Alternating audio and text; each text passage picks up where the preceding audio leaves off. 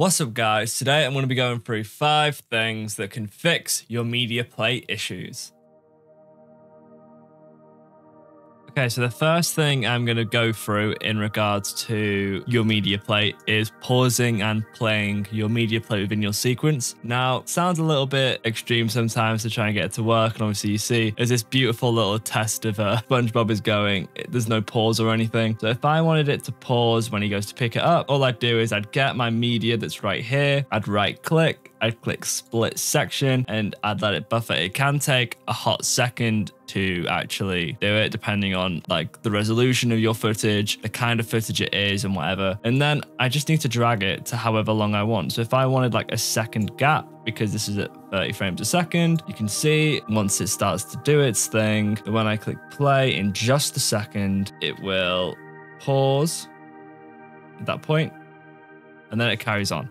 I want to put a video just now of it actually doing it in like a render so you can see that it works in render form. Um, I'm not going to go through like movie render queue settings because this isn't a tutorial for that. So, you know, if you want to see one of them, just let me know in the comments below.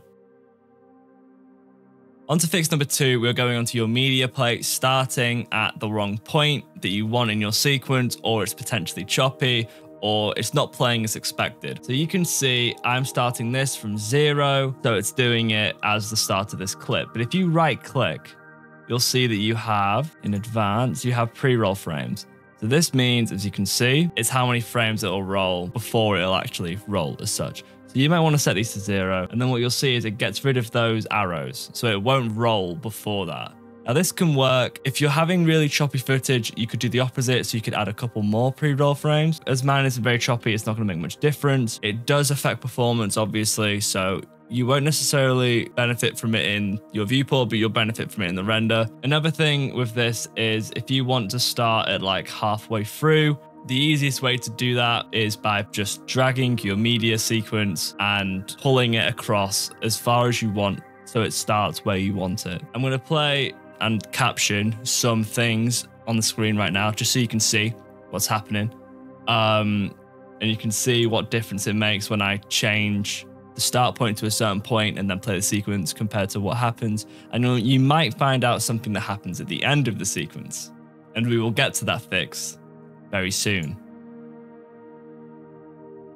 Okay, so here we have our boy Kevin. In the case that you might be doing like an Unreal scene where someone's in like a theater hall or they're presenting in front of a screen and you might want that screen to like backlight them to give them some like shape and depth. You might want this to, obviously you can see it's emitting light, but it's not affecting our character. Now, this is basically an oversight sort of by Unreal to be completely honest. And it's completely fine. It's not harmful in any way.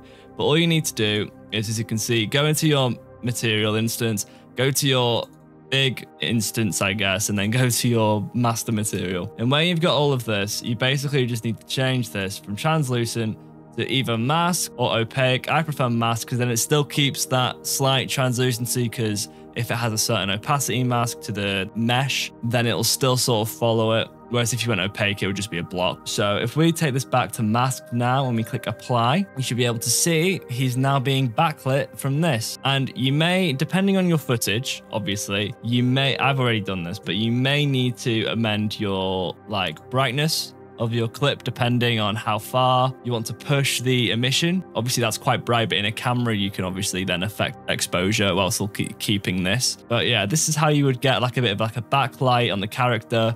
And you can see, even with this really poor lighting, it gives a nice bit of depth, a nice bit of shape to the face, which would be really good for like, like I said, presenting in front of a screen or that kind of like atmosphere. This next thing will be around like crossfading and that kind of stuff. So you can sort of see I've sort of already done it here. When you have two different clips and you might want to like cross between them or do like a typical kind of like dissolve between them, there are two ways that you can do it. The basic way is pretty much, as you can sort of see, I've, got both ways here just ready to show you guys. The first way you can do it is just by dragging your clip over it. That's pretty much as, as the simplest you can go. And the further you drag, obviously, the slower and smoother the blend will be. But at the same point, it might not be ideal because you won't necessarily get that manual control over it. Another thing you can do is have your like first clip on top. I always find that if my first clip is on the bottom, this doesn't work.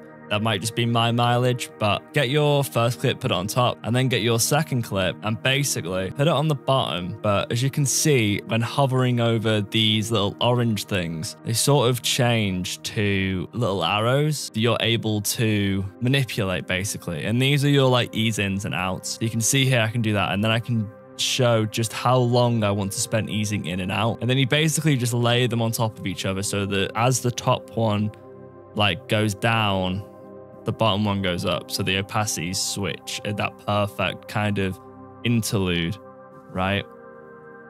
And they obviously will look very different. And a positive of using this manual way is that you can configure it to be exactly to your liking. Like maybe you want it to be like a really quick snap change, or maybe you want it to be like a nice, slow, smooth transition, you know?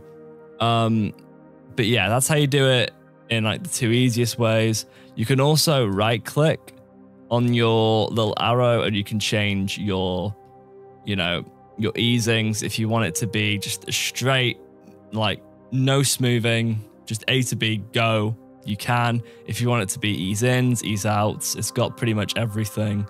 And yeah, that is basically crossfades and stuff within your media plate.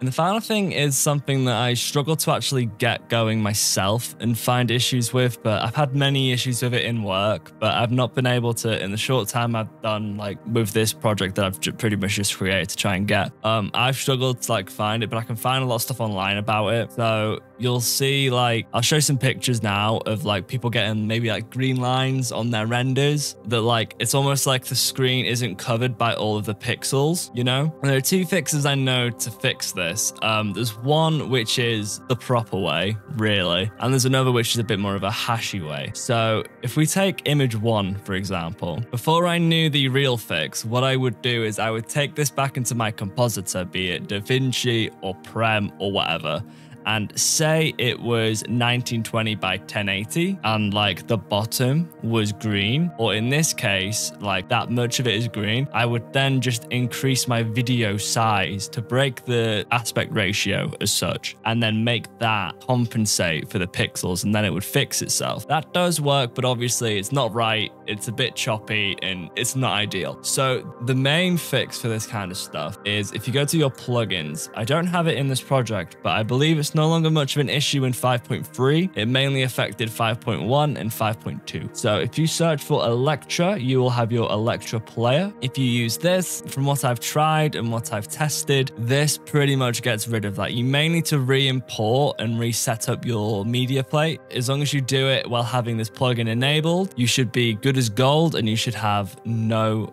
other issues regarding the green lines. And if you do, pull back to the dodgy little adding like 10 more pixels on your horizontal or your width.